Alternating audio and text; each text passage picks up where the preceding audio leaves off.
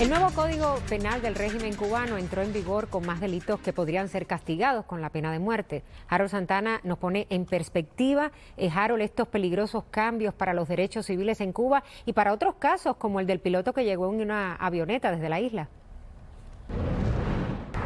Sí, en efecto, saludo. Tras la incorporación de cuatro nuevas categorías a los delitos en Cuba que pudieran ser condenados con la pena de muerte tras la entrada del nuevo Código Penal, han surgido temores por casos comunes conocidos recientemente.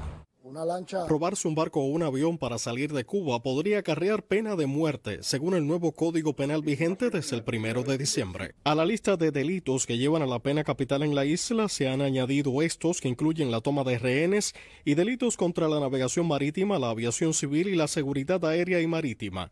El cambio se resume así. Ampliar el delito de terrorismo que antes era una figura única, ahora se ha convertido en un capítulo completo de figuras que marcan hasta ocho tipos de delitos como distintos, todos los cuales le han incluido la pena de muerte. Según Alpizar, el régimen no necesita la excusa del nuevo Código Penal para hacer ejecuciones extrajudiciales y cita un ejemplo reciente. El supuesto accidente en, en, alta mar de la embarcación que escapaba de Cuba y fueron embestidos por una de las nuevas lanchas que tiene ahora en operación el Servicio de Guardafrontera de Cuba. Es una forma de ejecución extrajudicial. Por su parte, para el abogado Eduardo Soto, que representa al último piloto cubano que salió de Cuba en una avioneta del régimen, esta modificación del Código Penal para los efectos de la legalidad estadounidense define lo que se denomina membresía de grupo social particular y eso podría ayudar a su cliente en un caso de asilo político. Pues entonces Rubén es parte de una membresía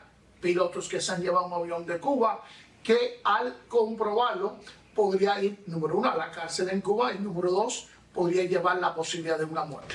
Aún más preocupante es que las manifestaciones de protesta podrían ser consideradas como delitos serios a discreción de los fiscales cubanos. Y si ellos pueden considerar que hay acciones violentas, muchas veces provocadas por la misma policía política, como ocurrió el 11J, pues entonces están las circunstancias que permiten a un sistema judicial manipulado y controlado por ellos, considerar que se puede aplicar incluso la pena de muerte.